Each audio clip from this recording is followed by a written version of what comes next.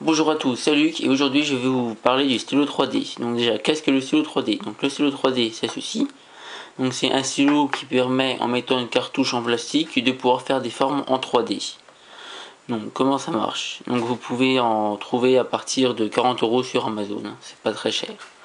Donc il faut le faire préchauffer jusqu'à ce que la lumière soit verte. Ensuite il faut insérer le plastique dans le, dans le stylo 3D. Avec le bouton ici, on peut régler la vitesse à laquelle le plastique va sortir. On le tient comme un stylo et ça sort. Donc je vous conseille de couper le bout avec un, ciseau. Donc normalement on peut faire des formes. Là ça part un peu en couille. Après on peut monter pour faire en 3D. Il faut attendre un petit temps de séchage et hop, une fois que c'est sec, on peut partir dans toutes les directions qu'on veut.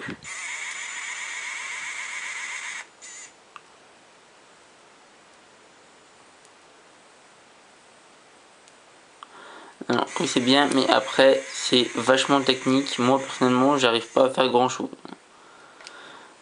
On peut essayer de faire euh, un carré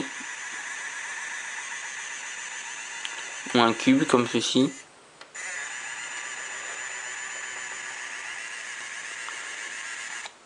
Moi-même, vous pouvez voir que ça fait un peu de la merde. Un peu beaucoup, un peu de la grosse merde.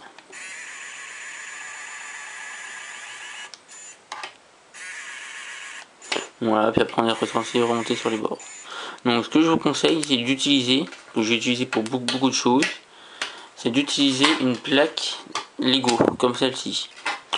Vous allez voir que c'est beaucoup plus facile pour dessiner un carré. Vous vous, dites que vous voulez faire un carré de 5-5, de 2, hop, vous arrivez, vous prenez dans les joies, hop, et voilà, un carré de 3-3. Et après même comme ça, si pour monter, c'est quand même assez chaud.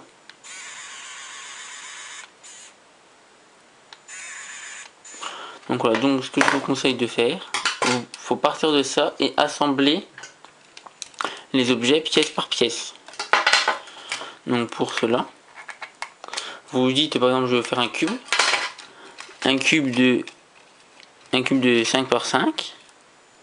Vous partez d'un endroit, comptez 1, 2, 3, 4, 5, hop, 1, 2.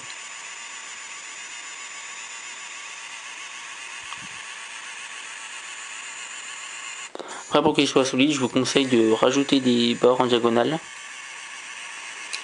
comme ceci et de renforcer bon après c'est sûr ça, ça use plus de, de recharge.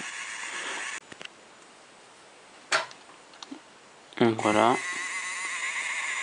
On fait une double épaisseur pour que ce soit plus solide.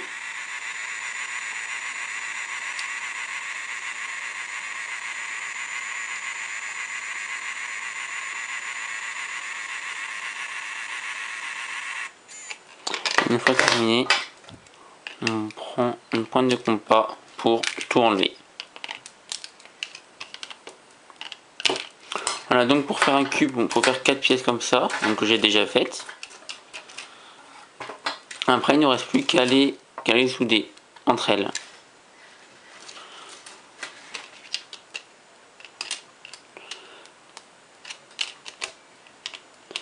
Donc là, on cède, on propose une pièce sur la plaque pour euh, pas qu'elle bouge et en remettant du plastique entre.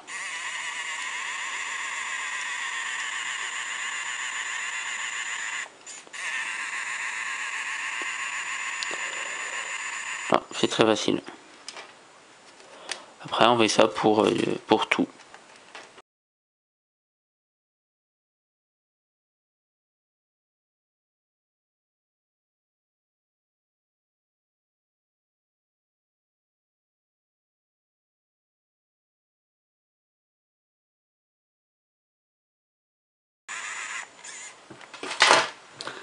Voilà, le cube terminé.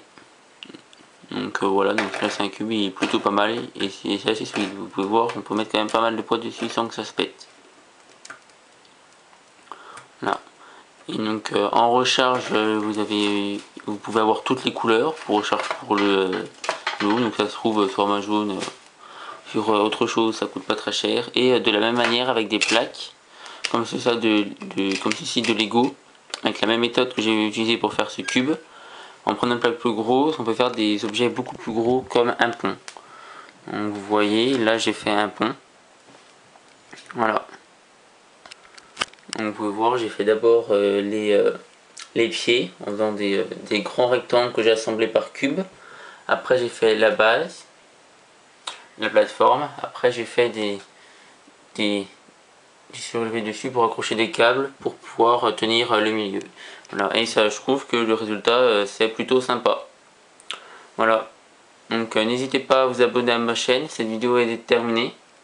Donc je vais faire souvent des petites vidéos comme ça, plutôt sympa sur des choses divers, un peu scientifiques, un peu marrantes.